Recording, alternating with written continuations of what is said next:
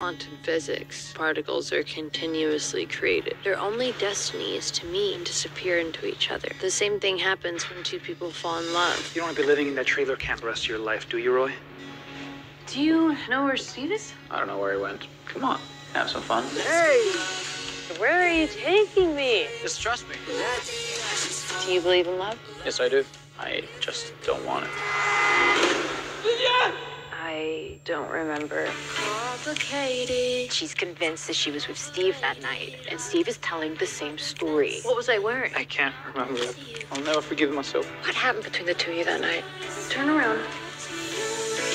The bond between two particles is only valid in the microscopic realm. You weren't with me. It cannot be applied to the human world because